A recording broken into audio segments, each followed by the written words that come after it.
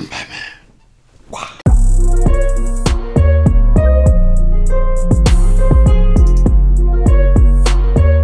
Spoiler alert! Spoiler alert! Spoiler alert! So now that I can actually talk about spoilers because oh my god, it was so hard making that review. I didn't know what to say without giving too much away.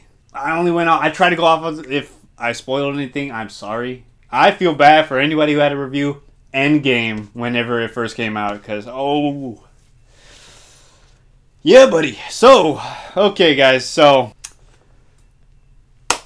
the Long Halloween is one of my personal favorite comic books of Batman. Is actually probably my favorite. I have the Absolute. I showed them in the last video. It followed a lot of the Long Halloween, like Catwoman revealing that uh, Falcone. Is it that one or is it one in Rome?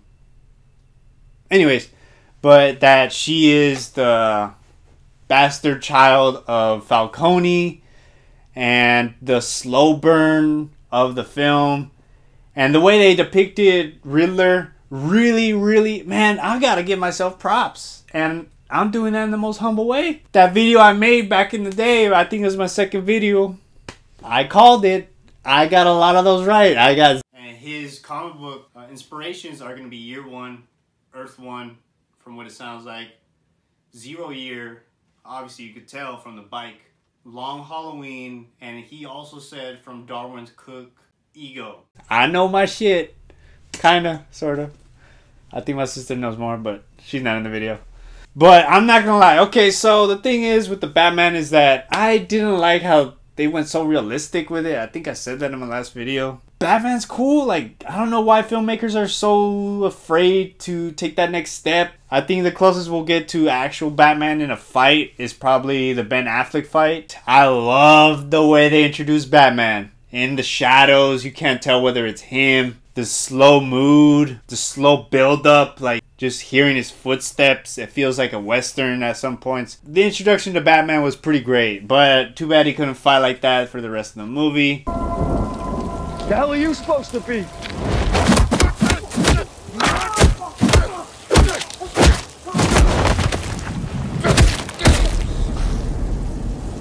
I'm vengeance. Penguin really stole the show. I cannot wait for his show.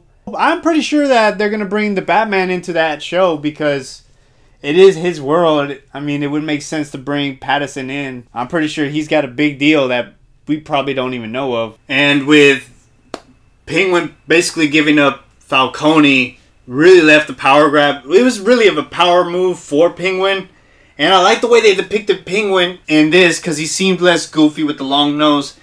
He seemed like more off the Arkham games, more of a mobster type. I really did like that aspect to him that they added. And I like the way they did Riddler. Like from Earth 1 Volume 2, they have the Riddler a lot like the way they depicted him in here.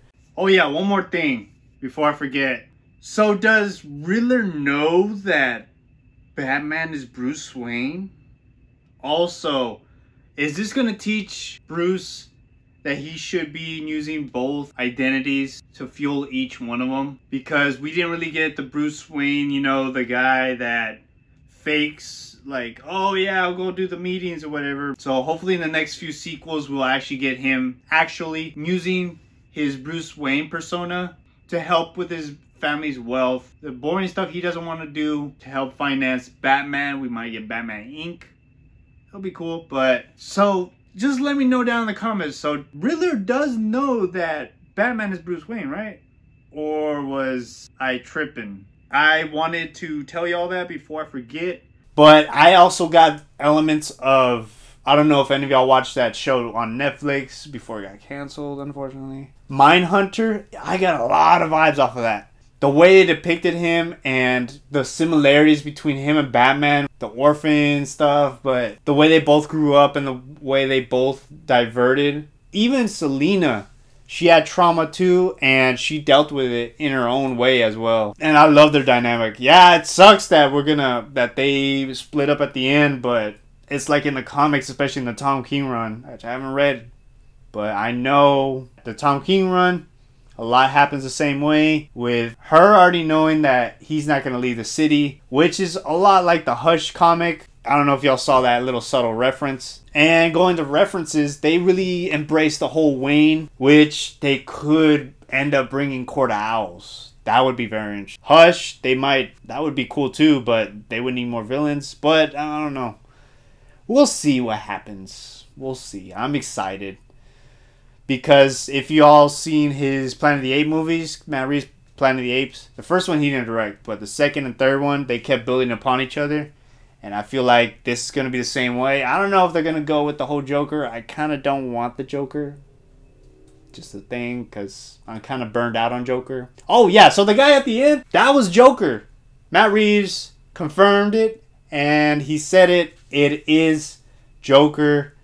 They even had to delete a scene with him, I think, with Batman or another character. So the actor that's playing as Joker is the guy from Eternals, the one who controlled minds. I forgot his name, but that was him. They even had to shoot scenes with him as a cop to throw people off just to just to keep him in the movie. Which, but I don't know how they're gonna do Joker like clown makeup again. Like, dude, we all want to see Killing Joke. We all want to see that Joker. Like, dude, wh- why is it so hard for them to lean on the stuff that makes? I mean, Batman has passed eighty years. There's a reason why these characters stand the test of time, and it's not by making them realistic. It's not why we go to the movies we go to the movies, Indiana Jones, like it's you know that stuff doesn't happen, but we want to see it. But like I said on Earth One, hold on, let me switch this out. Earth One also Alfred did train him in that one, like he did in this movie, and the the scene with Alfred when he got okay after that the mishap that he nearly blew up, I got really scared for Alfred for a second. I thought he died. I was like, oh shit, dude. Damn. They really went there, but no, he was okay. But but this isn't Batman with the ninjas. No, he kind of raised him, but I think this is still early Batman. He doesn't know how to. He's still learning to become the person that he's gonna become, which is also a great experience. But that scene in the hospital with Alfred really was a touching scene. I that had to be one of my favorite scenes in the film. With him accepting that he did raise him, that he is close to him, and what his father did, what he didn't want to tell him. It was real. It was a real moment that he wasn't concerned about his political career aspirations. It was about his mom. I mean, I think that is the most human thing possible that they could have done.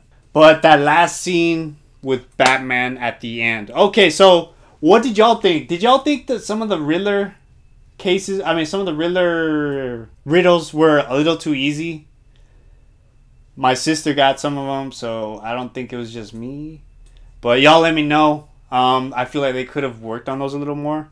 And I feel like since it is a detective story at the end of the day, we should have got a little more twists and turns, sort of like the way Knives Out was. Like we could have got something like that. Maybe they could do that for the next one, but I really do hope that they they step it up and probably make it shorter because we didn't need all that. And that ending credit was not worth it.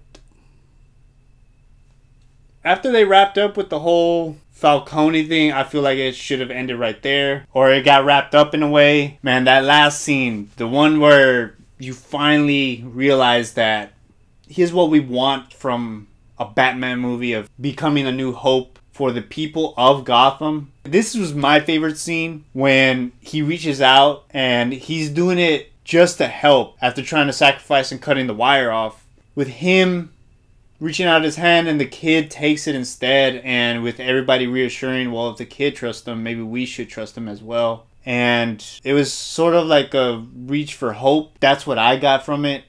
And i really loved that scene. That scene really cements this as what batman really stands for for gotham city. That was my favorite part of the film. I, let me know oh since i'm already on that let me know what y'all thought of the movie and what was your favorite scene? And did anybody else get goosebumps when that engine revved up? man, oh, that is easily one of the best Batman like car chases. It was just a car chase, and that that shit hit, man. That ooh, man, that was that was it right there. That was a that was a cake. But yeah, so I'm gonna have this as a giveaway as long as you like and share the video and make sure you follow me on Instagram and I will send you this and I will give you a free graphic novel of Batman.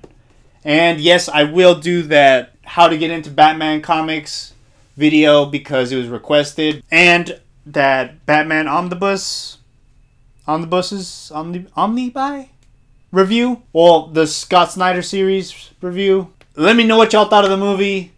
And as always guys take it easy. Deuces y'all